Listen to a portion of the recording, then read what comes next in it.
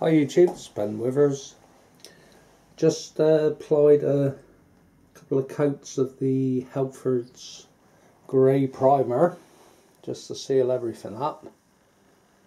I've also done the inside. I'll probably, I'm thinking I'll paint the inside black because detail wise the doors are so small you won't see anything inside. So, so that's where we're at at the moment. A bit better. So obviously I'm going to experiment with some uh, brick painting later on. So this is 7 o'clock in the morning, out and about early, nothing to do, so I thought we'll get a coat on this. So uh, I'm going to, like I say, do a few experiments, a little bit of filling in a couple of places to do, but uh, on the whole, looking pretty good. Hi everyone, um, the clip you've just seen was probably done about uh, six weeks ago. I've been trying different uh, colours and so on and I have painted this probably twice and not really been happy with it.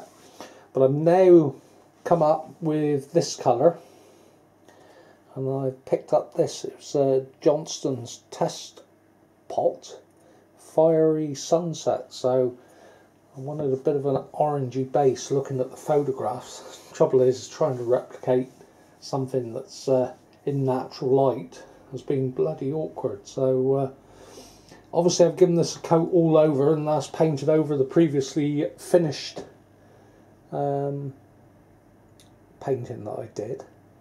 So what I'll probably do in a minute uh, is show you how I'm going to try and get like the brick effect and hopefully it will work out okay or possibly this will get edited out and we'll try another colour but uh, we'll set the old camera up on a tripod and perhaps try a bit. Oh evening, um, nearly time to say Happy New Year but not quite. Thought I'd come down and have a hour and have another go at this painting.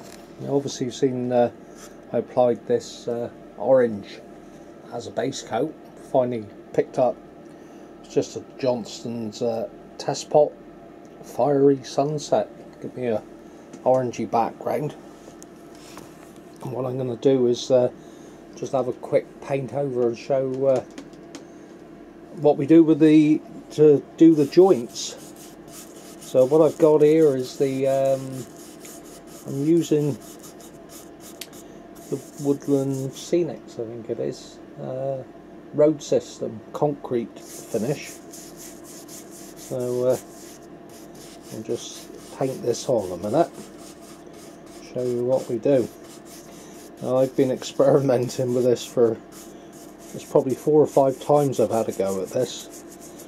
And I've not really been happy with the effects that I've got the colours uh, and this bit especially painting in the actual brick joints so uh, but just to give you an idea of what we do.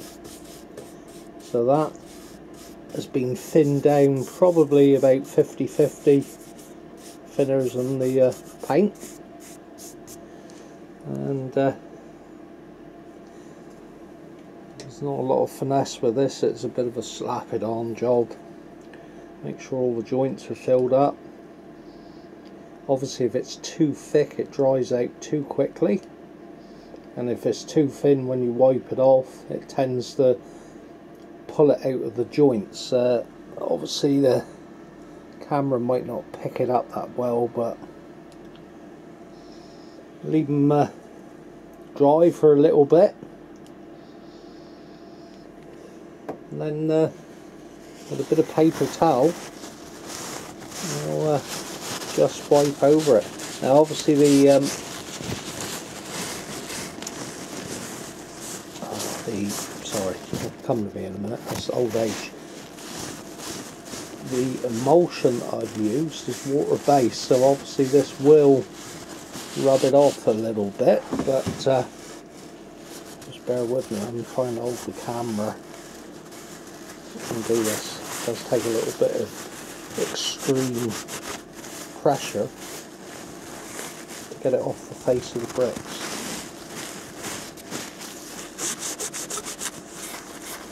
on the hole.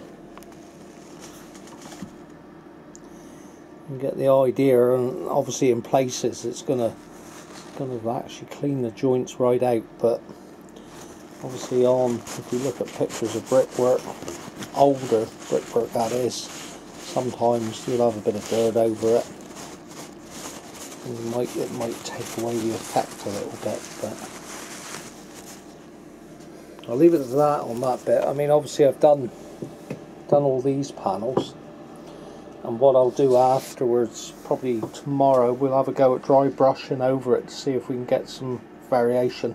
It will it does tend to leave a almost like a white film over your base coat but hopefully with a bit of dry brushing we'll lose that but colour wise I think he's looking better than what I'd previously had so uh, we'll uh, take a look hopefully tomorrow on New Year's Day and uh, see how it turns out.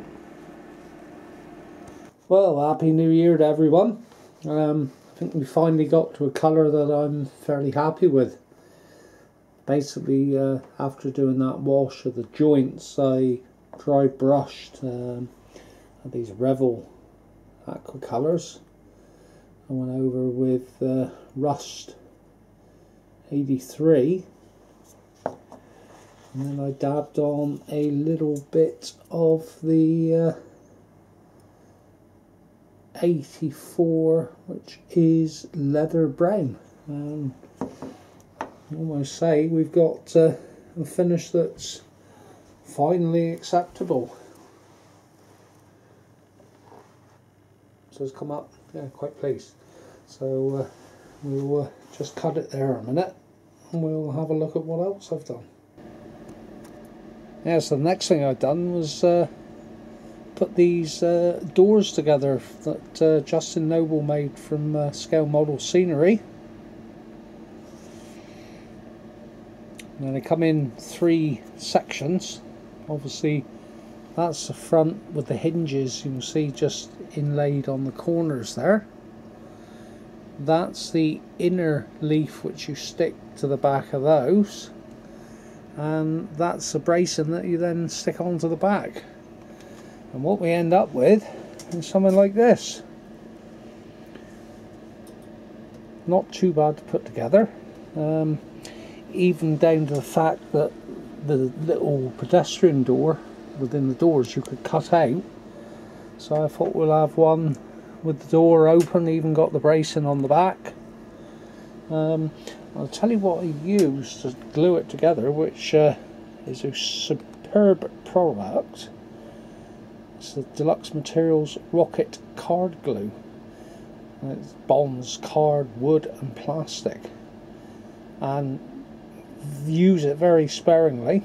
Um, and it's got, well, probably dries in about 30, 30 seconds on, on this wood. But yeah, goes together really well.